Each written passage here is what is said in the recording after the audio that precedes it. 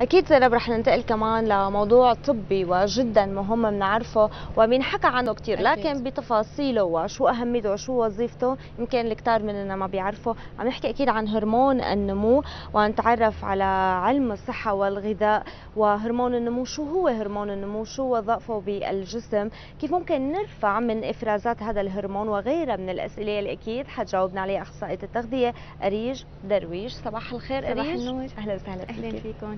يسعد صباحك أريج يعني هلأ كنا بالفقرة اللي قبلها عم نحكي فرح عن سوء الامتصاص هلأ عم نحكي عن هرمون النمو يعني كمان كل الأهالي بيسألوا ابني ما عم يطول ابني ما ما يعني واقف النمو عنده. فخلينا نحكي عن الهرمون المسؤول عن النمو بشكل عام بعدين بنسألك على التفاصيل. أوكي.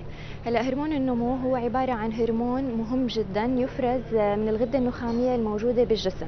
طبعا هو عبارة عن حمض أميني في له كثير مهام وكثير وظائف مسؤول عن كثير أمور بالجسم. لهيك نحن لازم ننتبه له بشكل كثير كبير. يعني مراقبة الطفل من لما بيخلق لحتى يصير بمرحلة البلوغ جدا مهمة لحتى نحن نعرف إذا في عندنا تأخر بإفراز هذا الهرمون أو لا. والشيء اللي بدلنا على هذا الشيء على وجود تأخر أو عدم تأخر هو آه، الطول والوزن عند الطفل بكافة الأعمار. تمام. هلا إذا بدنا نحكي أكثر بالتفصيل آه، كيف ممكن نحن آه، ننتبه إنه طفل عنده نقص بهرمون النمو؟ وإمتى بنتوجه فعلا للتحليل إنه نحن بمرحلة خطر لازم نعمل تحليل لهذا الهرمون. تمام. هلا مثل ما قلنا إنه هو مسؤول عن كثير وظائف بالجسم. من أهم هي الوظائف إنه هو مسؤول عن النمو العظمي أو نمو العمر العظمي. لهيك نحن لما بيكون في الشخص أو الطفل بعمر صار بعمر السنتين وعم نلاحظ إنه صار في عنده قصر أكثر من يلي آه بنفس عمره فنحن لازم نبلش بعمل التحاليل. هلا من أهم المهام هو أول شيء إنه مسؤول عن تجديد الخلايا اللي بتكون متضررة بالجسم.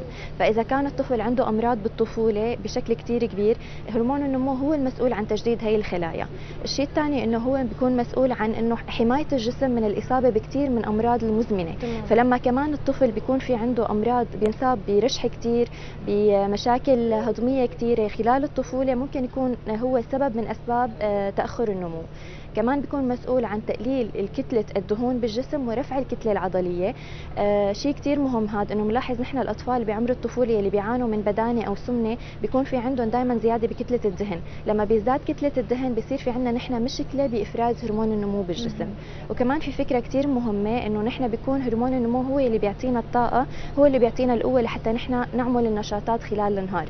فلما الطفل بنلاحظ إنه نشاطه شوي خفيف أو أقل من يلي بعمره كمان نحن لازم نتجه لتحليل هرمون النمو أو ننتبه لهي المشكلة.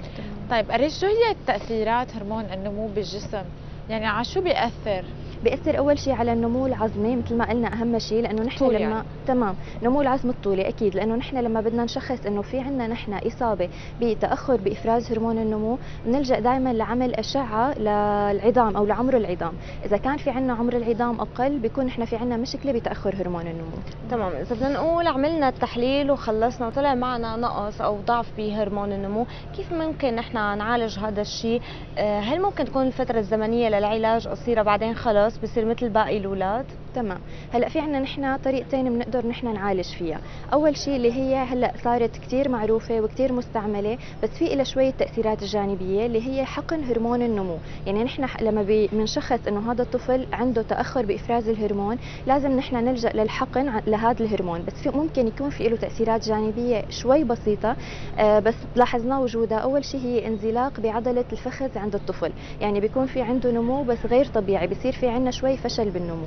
الشيء الثاني إنه ممكن يكون هذا الطفل عرضة للإصابة باللوكيميا أكثر من الأطفال الثانيين. لهيك نحن بدنا نكون كثير دقيقين لما بدنا نعود هرمون النمو عن طريق الحقن. في عندنا طرق طبيعية بنقدر نحن نرفع فيها هرمون النمو بالجسم بشكل صحيح آه كتار ومهمين وكثير لازم نعرفهم لحتى إذا الطفل تشخص من هو وصغير إنه عنده نقدر نحن فورا نعالج هي المشكلة. أول شيء إنه نحن بنشتغل على كمية الدهون الموجودة بالجسم. هلا كمية الدهون دائما بنحكي على كمية الدهون الموجودة بمنطقة الخصر أكثر شيء. في دراسة انعملت على الأشخاص اللي عندهم محيط الخصر أكثر من 100 سنتيمتر وأشخاص ثانيين كان عندهم محيط الخصر أقل من 90 سنتيمتر. فلاحظنا أنه الأشخاص اللي في عندهم تراكم للدهون بمنطقة الخصر بنسبة كبيرة كان عندهم إفراز هرمون النمو أضعف بثلاث مرات من يلي بيكون في عندهم أقل من 90 لهيك بنعالج نحن دائما على معالجة البدانة عند الأطفال. يعني الطفل بعمر صغير إذا كان في عنده بدانة لازم من هو وصغير نبلش نحن نحاول نخفف من الوزن لحتى نخفف كمية الدهون الموجودة. كمان الفكرة الثانية اللي بنقدر نحن نرفع فيها هرمون النمو هي فكرة الصيام. طبعا نحن في عنا نوعين للصيام. ممكن نحن ناخذ آه، فترة ثلاث أيام ناخذ فيها 500 أو 600 سعرة حرارية. يعني نخفض نخفض مدخول السعرات الحرارية اللي عم يدخل لجسمنا. الفكرة الثانية هي نظام الصيام المتقطع يلي هلأ كثير في عالم عم تتبعه وكثير صرنا نسمع عنه عن جديد. هلأ بهي الحالة نحن هون لما بيصير في عندنا صيام بنخفض نسبة الإنسولين الموجودة بالجسم. نحن بنقدر نعمل صيام متقطع للأطفال؟ إيه. ما في مشكلة بس طبعا تحت إشراف تغذوي لأنه بيكون في عندهم معايير معينة لازم نلتزم فيها. بس حتى عند الكبار لما بنشخص إنه الشخص في عنده تأخر بإفراز هرمون النمو ممكن هاي الشغلات كثير تساعده. لأنه نحن لما في عندنا تناسب عكسي ما بين هرمون الإنسولين وهرمون النمو. فلما نحن بنتبع الصيام بينخفض هرمون الإنسولين بالجسم فهذا الشيء بيحفز على إفراز هرمون النمو بشكل أكبر. فنحن ممكن نساعد حتى لو الشخص كبير بالعمر إنه نحن نحفز من إنتاج هرمون النمو عنده. نعم. اريج يعني آه، كثير عم نسمع كمان إنه الأهالي ابني ما عم يطول بصيروا بيعطوه آه، أدوية أو بيسمعوا عن آه، ممكن أي شيء حتى لو مصنوع على اليد أي أمل بيعلقون بيعطون إياه بدون استشارة لا أخصائي تغذية ولا طبيب وهذا الشيء ممكن يأثر عكسا. هذا الشيء يعني آه، غير الحمية الغذائية ممكن إنه يفوتوا له كثير قصص بالغذاء. خلينا نحكي عن هذا الموضوع كمان. هلا نحن مثل ما بنعرف إنه في كثير من المكملات الغذائية الموجودة وللأسف نحن بناخذها بشكل عشوائي. هلا نحن كشيء آمن بنقدر ناخذه ممكن عند الأطفال وممكن عند الكبار هو هرمون الأرجينين. هلا هو موجود هو عبارة عن حمض اميني بس موجود حتى بالأغذية بشكل كامل. فلما بيكون عندنا نظام غذائي متكامل للطفل أو للكبير ما في داعي إنه ناخذ المكملات الغذائية. الأرجينين إذا بدنا ناخذه كمكمل غذائي مسموح ان ناخذه بمعدل 20 جرام باليوم مو أكثر من هيك. هذا كثير بيساعدنا على إنه نحن نحفز هرمون النمو. مم. كمان في عندنا آه، آه، من المكملات الغذائية اسمها جابا هاي المكملات كمان موجودة بالصيدليات بشكل كثير كبير. استخدامها آمن عند الأطفال وعند الكبار. آه، الجابا بتساعدنا على إنه نحن يصير في عندنا نوم واسترخاء للعضلات. النوم كثير بيأثر على هرمون النمو وكثير بيأثر على إنه نحن نقدر نضبط هذا الهرمون بشكل صح. طبعا بيأثر هو ليش بيأثر؟ لأنه لما بيكون في عندنا نحن نوم بشكل صحيح بيصير في عندنا إفراز للميلاتونين يلي هو هرمون النمو بشكل صح. الميلاتونين لما بينفرز بشكل سليم بيساعد على إنه نحن نفرز هرمون النمو بشكل صح وناخذ نمو بشكل كامل. في عنا شوية شغلات نحن بنقولها بس العالم ما بتعرف ليش. أول شيء إنه نحن النوم من بنفضل إنه يكون النوم على بظلام يعني بدون ما يكون في ضوء قوي لأنه الضوء القوي بيأثر على إفراز الميلاتونين أول شيء. الشيء الثاني نحن دائما بننبه من استعمال التليفون أو الكمبيوتر أو حتى مشاهدة التلفزيون قبل النوم بفترة قصيرة لأنه كمان هذا الشيء بيأثر على هرمون الميلاتونين بيخلي يصير في عندنا إلا بإفراز الميلاتونين. يعني هي أفكار كثير بسيطة بس الأشخاص ما كثير تتبعها حتى نحن ممكن نستخدم التليفون نحن وعم ننام. هذا الشيء كثير غلط لأنه الميلاتونين ما بقى بيصير بينفرز. فدائما بنلاقي إنه بيصير في عندنا قلق ما بنقدر ننام بشكل مضبوط. هذا كلياته بيأثر على إفراز هرمون النمو. تمام. هلا نحن عم نحكي اليوم عن هرمون النمو. نحن بنعرف إنه الطفل يمكن بعمر معين آه، خلص بنقول طول دبنا جسمه. آه، فكيف ممكن يأثر هرمون النمو؟ عم نقول نحن على أشخاص بالغين اكتمل نموهم واكتمل طولهم وكل هي الأمور. تمام. هلا نحن كنمو بضل مستمر عندنا لمدة 18 سنة عند البنات وعند الذكور لمدة 20 سنة. بيكون معدل النمو بمعدل 2 ل 3 سم خلال السنة بعد فترة البلوغ. فنحن إذا صار في عندنا الشخص بعد فترة البلوغ حسينا إنه ما عم يطول بشكل صحيح لازم فورا نتجه لهذا التحليل ولازم فورا نعرف شو هو العلاج الصح لحتى نقدر نحن نتجاوز هي المشاكل. كمان في عندنا فكرة كثير مهمة عند الأطفال نحن بنحكي فيها إنه الأطفال كثير بيحبوا السكر ومثل ما قلنا إنه الإنسولين وهرمون النمو في تناسب عكسي بيناتهم.